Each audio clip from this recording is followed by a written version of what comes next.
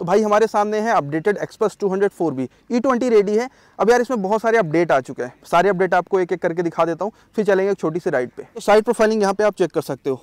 कुछ भी चेंजेस नहीं हुए हैं। लुक्स में स्टिकर वर्क वगैरह भी सेम है। हाँ एक आध कलर में आपको थोड़े से स्टिकर वर्क में डिफरेंसेस देखने को मिलेंगे। अपडेट क्या है, वो मैं आपको दिखाता हूँ। मेजर अपडेट है भाई इसके फ्रंट में। फ्रंट प्रोफ़ाइल कंप्लीटली आपको नया लगेगा। उसका रीज़न ये है कि यहाँ पे एलईडी हेडलाइट्स आ चुकी हैं। काफ़ी ज़्यादा ब्राइट है। ये आप देख सकते हो। इसी के साथ थोड़े से ना इसके एर्गोनॉमिक्स भी चेंज हुए हैं। तो उसका क्या यहाँ पे इम्पैक्ट पड़ने वाला है? इसको राइड करते टाइम मैं आपको बताऊँगा। और नकल गार्ड यहाँ पे चेंज हो चुके हैं, जो कि ज़्यादा मज़बूत लग रहे हैं, ज़्यादा स्टडी है और ज़्यादा प्रीमियम फीलिंग भी आपको देंगे चलाते टाइम स्विच गियर्स भी चेंज हुए हैं, जो कि नई डिज़ाइन के हैं। यहाँ पे आप देख सकते हो ये सारी स्विचेस चेंज हो चुकी हैं। आपको याद हो पुरानी वाली एक्सपल्स में ना चार्जर यहाँ पे होता था सीट के नीचे, जो कि बिल्कुल भी कन्वीनियंट नहीं था। मतलब आपको कुछ भी चार्ज करना होता था तो आप इसको ओपन करते थे, फिर लगाते थे। लेकिन अभी इसका जो चार्जर है यूज़ चार्जर वो यहाँ पे आ चुका है। ये आप देख सकते हो, ये ज़्यादा कन्वीनियंट है। यहाँ पे आप फ़ोन को माउंट करके सीधा चार्जर फंसा सकते हो। एक और फीचर अपडेट हुआ है कि भाई इसमें तीन एबीएस के मोड मिलते हैं रोड ऑफ़ रोड रैली तो ये भी राइड करते टाइम आपको बहुत मदद करने वाला है। तो ये हो गया भाई बेसिक बेसिक से अपडेट बाकी देख सकते हो प्रोफ़ाइल बहुत शानदार लग रही है। फ्रंट में इक्कीस इंच के बड़े से व्हील हैं सस्पेंशन ट्रैवल बहुत ज़्यादा इसमें देखने को मिलता है, बड़े से सस्पेंशन देखने को मिलता है। पीछे का व्हील साइज़ भी आप चेक कर सकते हो। तो ये सारी चीज़ें सेम है। नीचे देख सकते हो, इंजन प्रोडक्शन के लिए पूरा एक इसका प्लेट दिया गया, जो कि मेटल का है भाई।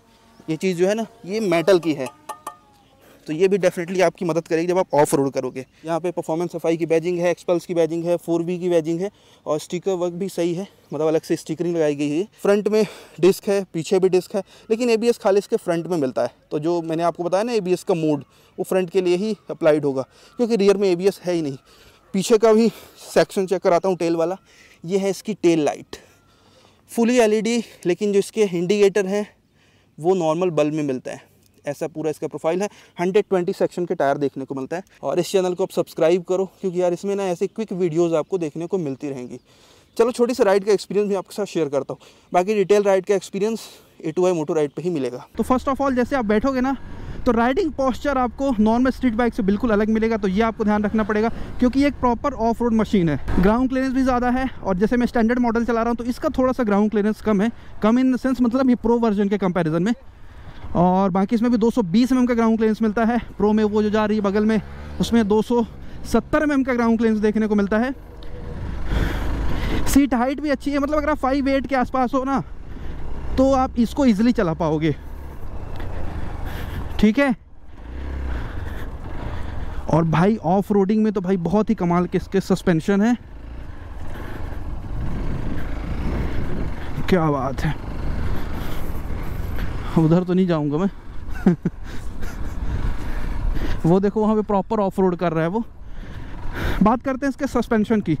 तो सस्पेंशन सॉफ्ट है। मतलब अगर आप कहीं ऑफ़ रोड पैच में हो ना तो आपको अच्छी कंफर्ट दे देंगे। आप इजीली अच्छे से अपना ऑफ़ रोड कंप्लीट कर पाओगे। इनफैक्ट लाइट वेट है ये मोटरसाइकिल तो आप इसको अपनी डेली कम्यूटिंग के लिए भी यूज़ कर सकते हो। हाईवे हो या फिर आपका नॉर्मल ऑफ़िस का काम हो तो मतलब वहाँ पर भी ऐसा नहीं कि प्रॉपर ऑफ़ रोड है तो भैया आप इसको नॉर्मल यूज़ नहीं कर पाओगे। आप बिल्कुल कर पाओगे। और यही रीज़न है कि 200 सीसी की ना मुझे ज़्यादा वैल्यू फॉर मनी मोटरसाइकिल लगती है कि भाई आप इसको मल्टीपर्पज़ तरीके से यूज़ कर पाओगे। बाकी ऑफ़ रोड के लिए तो भाई अगर आपका बिल्कुल ऐसा है ना कि आपको एक most value for money off road machine चाहिए, आपका बजट बहुत लिमिटेड है, क्योंकि जिस बजट में आती है ना भाई दो लाख के अंदर आती है। तो इस प्राइस पॉइंट पर कोई दूसरी ऑफ़ रोडर मशीन है नहीं। थोड़ा सा बजट बढ़ाओगे तो आपको हिमालयन ज़रूर मिल जाएगी। तो वो एक बात है। और हाँ ब्रेक्स भी अच्छे हैं दोनों में डिस्क देखने को मिलते हैं फ्रंट में एबीएस है जो कि एबीएस में भी तीन मोड भी मिलते हैं मैंने आपको बताया है वैसे।